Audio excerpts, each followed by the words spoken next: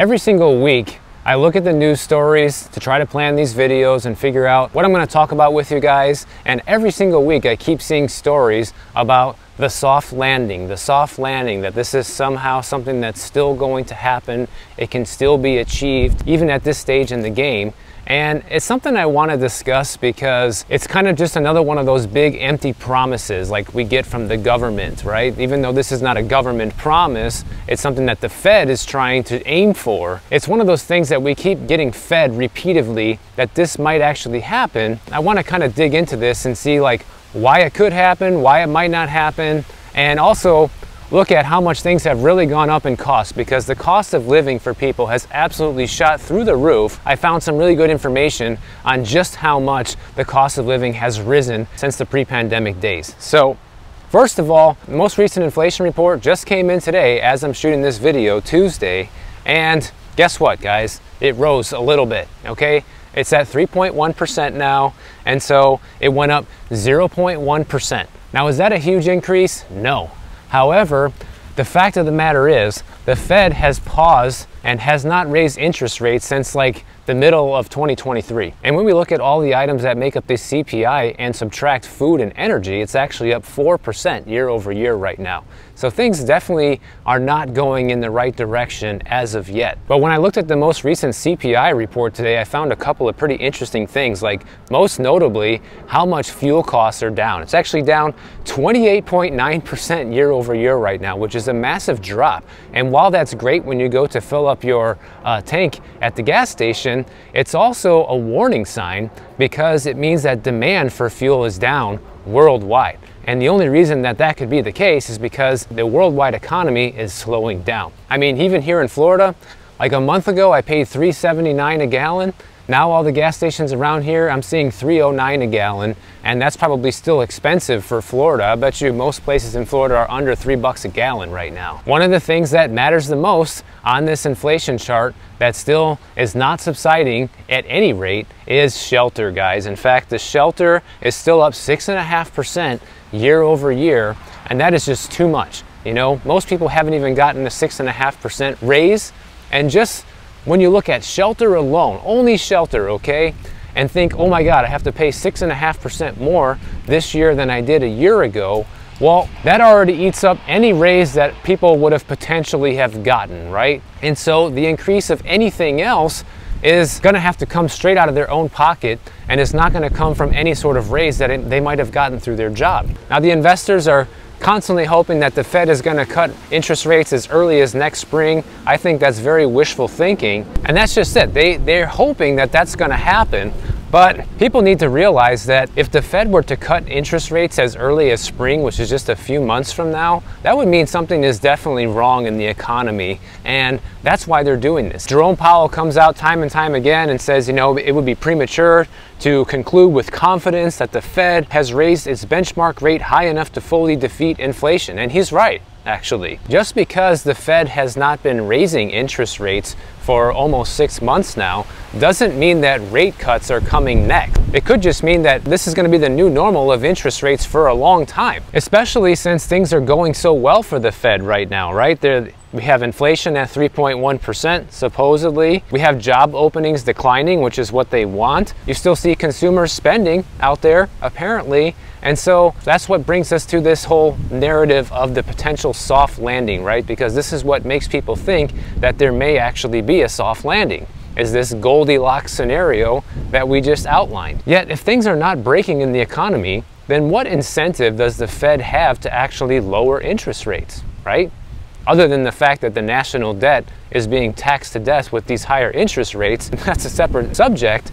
But as far as the economy goes, that's not the Fed's problem. That's the government's problem. The Fed's job is to make sure inflation doesn't run out of control and they dictate monetary policy. You know, last year, all these economists were saying that in order for Fed to defeat inflation, that we were gonna have to have a recession. This would also mean unemployment goes up. But guess what? Falling inflation without accompanying a recession or job losses is historically unprecedented, okay? This has never happened before, so think about that. The fact that we've never actually had this soft landing or Goldilocks scenario happen in the past. So is it gonna be different this time? Because that's the only argument for that moving forward is that this time is different. And man, have we heard that one a lot. And so far, it has been different. I'll, I'll, give people that. It has been different, guys. Right? We have not ever really been through a situation this strange before, right? So this house is a fairly new listing. Four bedroom, four bath, uh, almost 4,000 square feet. Pretty big house with a pool. Looks really nice in the pictures. But they're asking $2.8 million. And they bought it back in 2018 for 1.45 million. That is quite the appreciation. Even Redfin, who's usually bullish on prices of everything, is saying this house is only worth 2 2.7 and uh, yeah they're just probably asking too much for this house but hey let's see what ends up selling for their property tax bill is currently about $22,500 per year now the president of the Chicago Fed uh, Austan Goolsbee he says that the United States is on track for the fastest annual drop in inflation ever on record. And this could actually allow us to have a bigger soft landing than anyone ever thought. And that's why you keep seeing these news stories constantly because people are getting super giddy about this potentially happening, this whole soft landing scenario.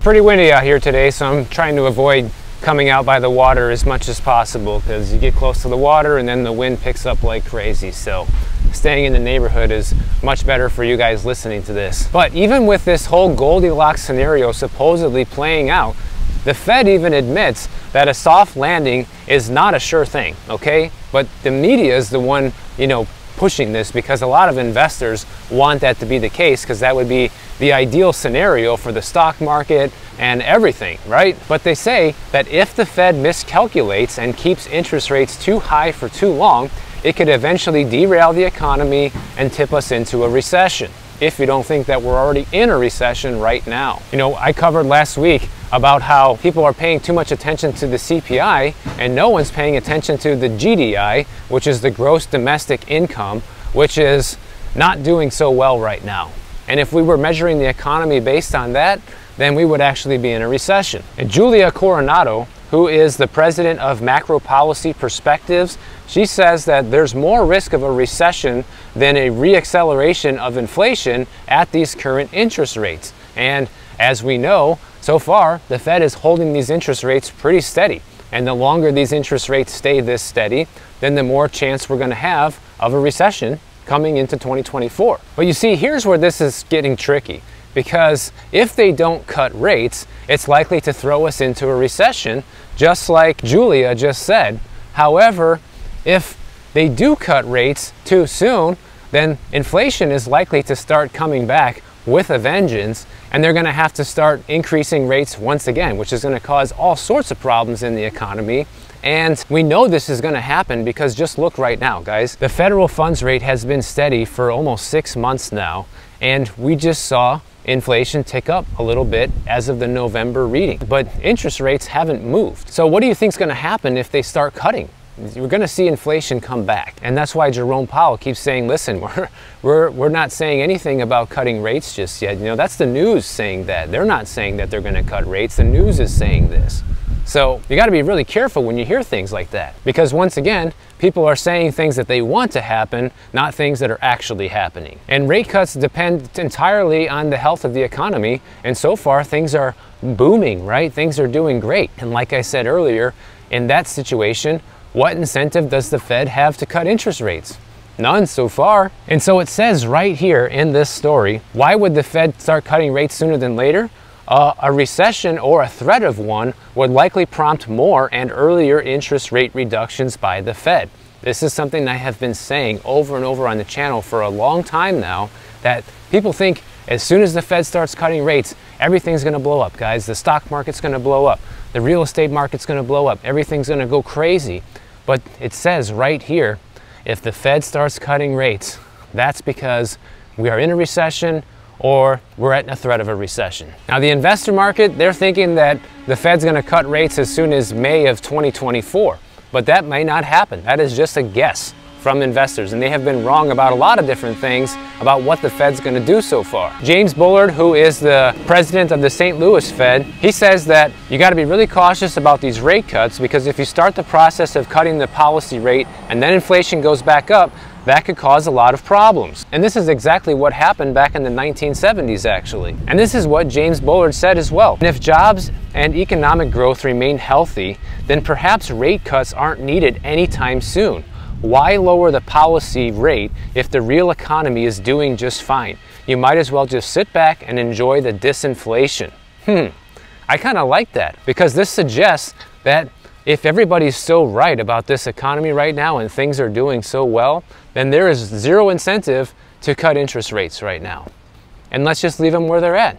That means we're going to have 7% mortgages for a long time. It means we're going to have high savings yields in high interest savings accounts. It means borrowing costs are going to be more expensive on everything, which is going to make people think twice before buying things. So I think that's a good thing, right? If the economy is doing so good, let's keep these interest rates high. And realistically, they're not even high. Historically, they're not high. This is just a normal interest rate policy, really. So there's no reason to change it if it's working, correct? But let me ask you this, guys. If it's working so well, then why does everybody want interest rates to go back down so badly, right? Why? Well, because our economy got way too used to having low interest rates for way too long and people basically rely on this now for their own personal financial situation. You know, people look at people don't want to go out and buy houses because the interest rates are too high. Nobody wants to say anything about prices. Car sales are in the toilet because of high interest rates as well. And you also have more people drowning in debt more than ever because of where these interest rates are at because the higher the interest rates, the higher Credit card companies charge you an interest. The higher personal loans charge you an interest. The higher any type of loan will charge you an interest. So a higher portion of people's incomes is going towards paying off this higher interest. So people don't want that. They don't like that. Here we have just an empty piece of land. They want $2 million for it. It's actually a land flip because they bought it back in 2020 for only 525000 held on to it for a few years, and now they want, you know, what is that, six times more? This is insane, guys, but they probably won't get it. And the size of this piece of land, I kid you not, is smaller than just the backyard I had when I was growing up as a kid. But this entire lot is smaller than that, which is pretty wild when you think about it. And the property tax bill here is 14 grand a year just to have an empty piece of property. But here's the problem, guys. I suspect that if the Fed continues with this current trajectory and they just keep interest rates where they're at, like Bullard is saying, then it's only going to be a matter of time before things really start to go downhill because look how much things have changed so dramatically with these higher interest rates. The housing market is in the toilet, guys. Demand has never been this low in like the last 25 years or something to buy a house. It is insane how low it is. The same goes for any other thing that people need to buy in this economy that requires people to get a loan. You know, the demand for it has gone down substantially because people can't afford items at these rates. In this case, something will have to give.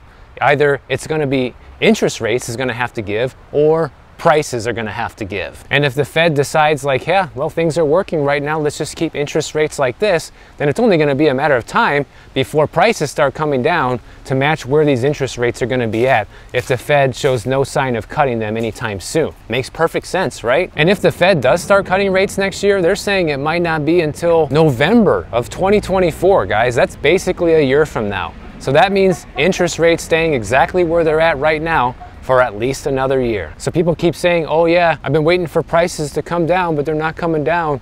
Well, you're gonna be waiting the same if you're waiting for interest rates to come down because it's not coming down. And let's face it, guys, 7% for a mortgage today is still way too expensive at these prices. Nancy Vanden over at Oxford Economics says that she thinks rate hikes are done, but it's going to be many months before the Fed starts cutting rates. Her firm is not expecting the first rate cut until at least the third quarter of 2024. So this is just a far cry from what the overly optimistic, you know, betting markets with investors are thinking is going to happen, guys. They keep saying, "Oh yeah, we're going to see an interest rate cut by May." Like keep dreaming, guys, especially if all of this is supposedly working well right now and the economy is going great. These interest rates aren't going anywhere. Now, since we're on interest rates and the topic of inflation, I want to talk a little bit about how so many of us are getting squeezed financially from all of this and Bloomberg did a great report about how much everything has gone up in price since the beginning of the pandemic, guys. And basically, they determined that regular basket of goods that used to cost a family $100 before the pandemic now costs $119.27. That's basically a 20% increase. They said since early 2020, prices have risen as much as they had in the full 10 years preceding the health emergency. So think about that for a minute. Basically 2009 to 2019, and we had a, huge economic crisis back then, prices went up the same amount during that time period than we saw just in the last few years after the pandemic. That is unheard of. They're saying groceries are up 25% since January of 2020. Same with electricity, it's also up 25%. Used car prices have gone up 35%. Auto insurance is up 33%. So it's no wonder that when people are polled about this economy, that they're not too thrilled with where things are at right now. They put together a bunch of these cool little infographics here that I'm going to share with you guys. Look at this one right here when it comes to hourly and nominal wages. You have nominal wages up 20%. That means people technically got a 20% increase in pay since the beginning of 2020 until today. But when adjusted for inflation, real wages are only up 0.6%, guys, which means wages are essentially flat no one is actually making more money than they were pre-pandemic, but the cost of everything is through the roof. And a bunch of you guys commented in my recent video about how people are doing so well. I asked everybody to give their opinion on how well they're doing right now, and I saw a ton of comments in that video of people who were saying, hey, Michael, I'm making more money today than I was three years ago, but my quality of life is actually down. I still remember one of the comments that said, you know, I was making 75K a year pre-pandemic and life was easier and cheaper for me then then fast forward to today when I make 100K a year. So that's completely upside down, guys. In what world does that make sense where you got a 25% increase in pay over the past three years and life is somehow harder? That just goes to show you how much this inflation is taking a toll on people's monthly budgets. And the groceries are really hitting people, you know. The four years preceding the pandemic, grocery prices only increased less than 1%. Okay, now they're up 25% just in the last three years. Unbelievable. Look at that, we got coffee up 23% since 2020. Almost everybody drinks coffee and actually went down 6% between 2016 and 2019 pound of ground beef now costs 5.23 on average, which is up from 3.89 in January of 2020. Fresh fruits and vegetables, that's up 14%. We saw the price of eggs completely skyrocket for a while there and it's kind of normalized, but yet it's still far more expensive than it was before. In October of 2020, the Census Bureau survey showed that a four-person household spent on average $238 in a week on food at home. Three years later, the similar survey showed that figure jumped to $315, which is 32% more. They say food prices have only gone up 25%, but realistically, if you're feeding a family, it's gone up past 30%, guys. That's insane. And we just covered that nominal wages, even the amount that people are making, is only up 20%, which is not even enough to cover food. It's not even enough to cover rent either, because just in one year, it went up 6.5%. And when you compound that, the cost of shelter has risen obviously far more than that, because let's move over to housing, why don't we? Cost of houses, that's risen 42% since the beginning of the pandemic. So we all know that. We all pay attention to how much home prices have gone up on this channel. Rent since 2020 has also gone up 28%.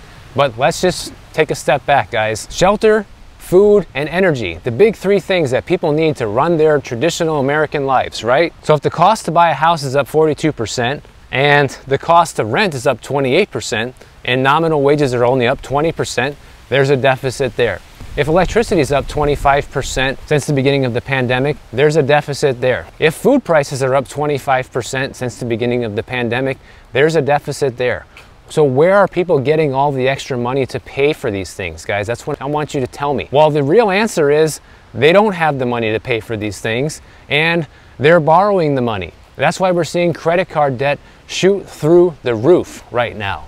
just in the last four or five months, it has gone up an extra 20% from 1 trillion to 1.2 trillion. And basically anybody who owned a home before the pandemic is, was like winning the lottery. And I agree with that statement because if you owned a house pre-pandemic, you know, and saw that 42% increase in value, that's all free money that you just gained, free equity by doing nothing. But I think the problem is a lot of people see that, especially younger uh, would-be home buyers, and they think, well, that's the way things are supposed to be then, right? Well, no. You know, people see this, saw this 42% increase in home prices and think it's gonna go like this forever. Well, that's not true, guys. It's not going to go like this forever. In fact, things are already starting to reverse in many different parts of the country where different cities and metros are down double digits year over year in home prices. Now, I know that's only a few places so far, but the fact that it's already happening is a sign that it's going to continue to happen, especially if these interest rates remain higher for longer. But people think that it's all fun and games and all gains for homeowners, but the truth is, you know, homeowners got hit too because homeowners have to pay extra for everything as well. Homeowners have seen tremendous surges in property taxes, in home maintenance costs, as well as homeowners insurance. These things have gone up exponentially for homeowners. So yeah, you might have gotten that increase in equity, but we see more and more people borrowing against that equity right now to pay for all the increases in the cost of living that we just discussed. Now, we already said electricity is up 25%. We also have natural gas bill, that's up 29%. People have record high car payments right now of $736 per month on average. And when I read this, it just makes me happy I don't have kids because as of 2022, the average annual cost of childcare nationally was almost $11,000 a year. And that's just the babysitter, guys. That's not talking about food and diapers and clothes and all this other stuff. That's just to have somebody take care of the kid while you're at work. As of September of 2023, the average monthly child care payments were 32% higher than in 2019. Then you got health care. The average employer-sponsored health care insurance premium jumped to about $24,000 this year. And about 40% of Americans said that they are delaying or skipping needed health care because they can't afford it this year. So things are really going well for people, huh? They even put an example of this one lady who was debt free other than her mortgage going into the pandemic. And then things took a nosedive for her business and she had to take out all sorts of loans in order to you know, keep her business afloat and keep her life afloat. And fast forward to today, she's now $75,000 in debt, you know, constantly shuffling money between credit cards with the balance transfers and all of that stuff, trying to avoid the huge interest rates that these credit cards are charging right now. You got restaurant prices up 24% since January of 2020. You have a recent survey showing that half the respondents reported not being able to afford going out to a restaurant, and two thirds said that they can't afford a vacation right now. And this is also reflected in the comment section of my recent video about people doing well. We definitely have a bifurcated society right now where you definitely have the haves and have-nots, guys. You know, some people are doing extremely well right now and have no complaints about where things are at, and others are completely struggling. So it's easy to get caught in this world of dual realities when people literally have dual realities. You know, people are not living the same lifestyles right now. We also had the resumption of student loan payments over the past couple of months. That's making an impact on people's budgets. And if anybody thinks that we're gonna see prices of anything come back down to pre-pandemic levels, you're basically dreaming, guys. Now, the only thing I think that might be possible for is home prices, but that's even a stretch. I'm not saying it's going to happen, but I'm saying it's possible if the economy takes a turn for the worse and we see unemployment go high enough and things get hurt badly enough, we could see home prices go back to pre-pandemic levels. That is definitely on the table but it would take a major recession for that to happen. So really people's only hope right now under these current circumstances is to just make more money, guys. Like there is no way to dig yourself out of debt right now or provide a better life for yourself other than just making more. You can cut your expenses as much as you can cut them, but that only goes so far, right? People can only cut their expenses so much and then there's just things you can't cut out. This is proof right here that the inflation is way worse than what we've been told all along and that the level of which this is affecting people's budgets right now compared to how much incomes have gone up is shocking, guys. And to be honest with you, even if we hit this so-called soft landing scenario, it only is gonna benefit the people who are already benefiting from this current situation, from this current economy, right? People who are struggling right now are not gonna benefit from any sort of soft landing. It's funny that people cheer things like this on and they want this to happen because you know, people just essentially don't want to lose money. That's what it all comes down to. Investors don't want to lose money. People don't want to lose equity in their homes. They just want to keep things going higher forever, which is not realistic with how much things cost. As we just looked at, as we see that people are not making enough money in real dollars to keep up with the cost of living today, there's basically no room for things to keep going up unless wages continue to go up exponentially as well. So if you guys enjoyed this video, make sure you subscribe to the channel. And if you don't want to wait for my next video to come out, check out this one on the screen right over here, and I'll see you in the next one.